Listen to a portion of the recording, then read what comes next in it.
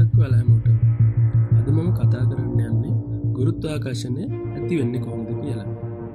විද්‍යාව දියුණුවත් සමඟ මුල් අවදයේදී සොයාගත් බලවර්කයක් තමයි ගුරුත්වාකර්ශණ බල කියන්නේ.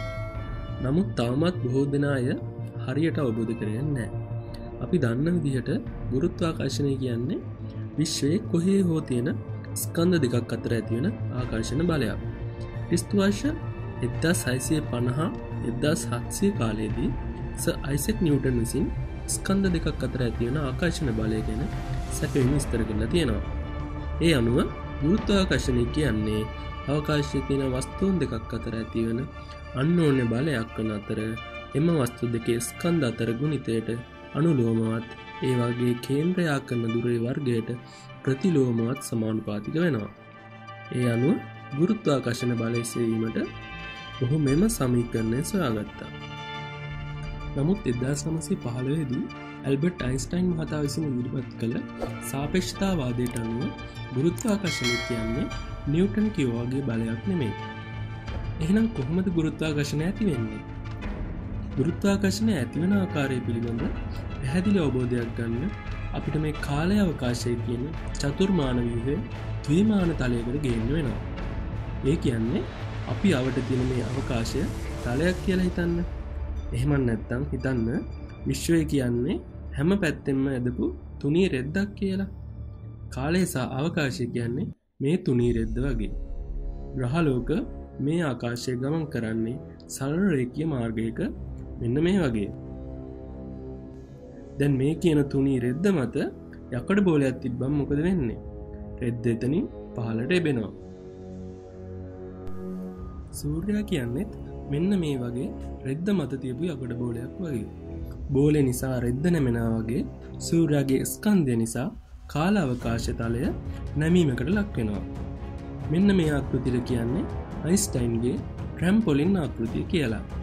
දැන් මේ අකට බෝලේ තියපු රෙත්ත මතට වෙනත් ස්කන්ධයන් නිදස්කරොත් මොකද වෙන්නේ? ඒ ස්කන්දයට කලින් ගමන් කලාවගේ සරරයකිය මාර්ගික ගමන් කරන්න බෑ. ඒ අකඩ බෝලේ දිශාවට රෝල් වෙලා යනවා.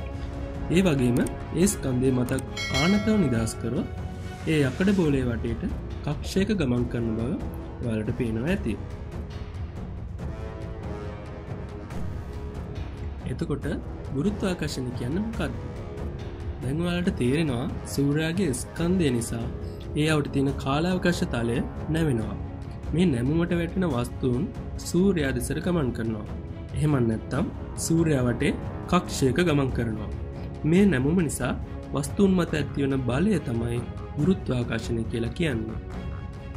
එනම් ග්‍රහලෝක කාලාවකාශ තලය ඇති කරන මේ නැමුම් නිසා ඒවා එකිනෙකට ලං වෙනවා. පෘතුවිය සූර්යාවටා කක්ෂගත වෙලා තියෙන්නේ කාලාවකාශ තලය සූර්යාගේ දෙසර නැවිල තියෙන හින්න. චන්ද්‍රයා පෘතුවිය වටා කක්ෂගත වෙලා තියෙන්නේ පෘතුවයනුත් කාලාවකාශ තලය පෘතිය දෙසට නැවිලා තියෙන නිසා. මේ නැමුමේ ප්‍රමාණය රඳා පවතින්නේ තාරකාවේ ස්කන්දය සහ තාරකාව සිට පවතින දුරන්නුවයි. තාරකාව අසල කාලාවකාශ තලය නැමිල්ල තියෙන ප්‍රමාණය වැඩි. තාරකාවෙන් ඉවතට යනකොට මේ කර්ව එක අඩු වෙනවා. කළුකුහර කියන්නේ ඉතා කුඩාවකාශයක් තුළ අනන්ත ස්කන්ධයක් තියෙන තැනක්. ඒ වගේ තැනක කාල අවකාශ තලයේ වක්‍රවීම මෙන්න මේ වගේ. වලේ ගැඹරුවා වැඩි නිසා කළුකුහර තුළ අධික ගුරුත්තයක් තියෙනවා. ඒ අසලින් ගමන් කරන වස්තු කුහරය තුළට අධික වේගෙන් ඇදිලයනවා. කව් එක වැඩි නිසා තාරකාවස්තල කක්ෂගත වෙලා තියෙන ග්‍රහලෝකවල වේගය වැඩි. කර්ව එක අඩු නිසා තාරකාවට ඈතින් කක්ෂගත වෙලා තියෙන ග්‍රහලෝකවල වේගය අඩුයි. උදාහරණයක් ලෙස පෘතුවියයි අඟහරුයි සැලකුවොත් පෘතුවිය සූරයට වඩාලාගින් පිහිනට නිසා එහි කක්ෂගත වේගය වැඩි. අඟහරු ඉන්නේ පෘතුවයටත් වඩා වැඩිදුරකින් නිසා එහි වේගේ සාපේක්ෂව අඩුයි.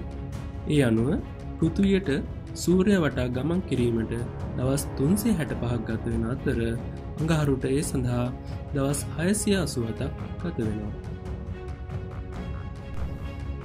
ඇයි එහෙනම් පෘතුවිය සූරයා දෙසට කඩාගෙන වැටෙන් නැත්තේ ඒකට හේතුව තමයි පෘතුවිය බ්‍රමණය නිසා ඇතිවන කේන්ද්‍රාපසාරී බලය දැන්වාලට තේරණු ඇති විශාල තරුමගින් කාලවකාශ තලය ඇති කරන නැමුම් නිසා ගුරුත්වාකර්ශණය කියන එක ඇති වෙනවා. මේ නැමුමේ විවිධ දුරවල් වලින් කක්ෂගත වෙලා තියෙන ග්‍රහලෝක විවිධ වේගවලින් මැද තියෙන තරුව වටා ගමන් කරනවා. අපේ සෞරග්‍රහ මණ්ඩලේත් මේ විදිහර තමයි සූරය වටා කක්ෂගත වෙලා තියෙන්නේ. නමුත් ඇත්තටම කාලයවකාශය කියන්නේ දීමාන වියහක් නෙවේ කියලා වල දන්නවානේ එක චතුර්මාන වියහයක්. එහෙනම් කොහොමද ත්‍රිමාණ අවකාශය ඔය කියන නැමීම සිද්ධ වෙන්නේ. සාපේක්ෂතාවාදයට අනුව ජාමිතිකව ගුරුත්ව ඇතීම පැහැදිලි කරා ඔවුන් එය හරියටම විශ්වලයිස් කරන විදිය පැහැදිලි කරේ නෑ. නමුත් තාක්ෂණය දියුණුවත් සමඟ ත්‍රිමාණ සජීවිකරණයෙන් පුළුවන් වුණා අවකාශය වස්තුන් ගමන් කරනකොට එම වස්තුන් මගින් කාල අවකාශ තලයේ නැමුම් කොහොමද සිද්ධ වෙන්න කියලා. ඒක මෙන්න මේ විදිර තමයි ඇත්තරම සිද්ධ වෙන්න. අද මේ වීඩුව එකෙන් කතා කළේ ස්පේස් ටයිම් කවේචයක මගින් කොහොමද ගුරුත්තය ඇතිවෙන්න කියලා. මේ වගේ තවත් වීඩුව එකකින් පින හමුව. ඔබට සුබ දවසක්.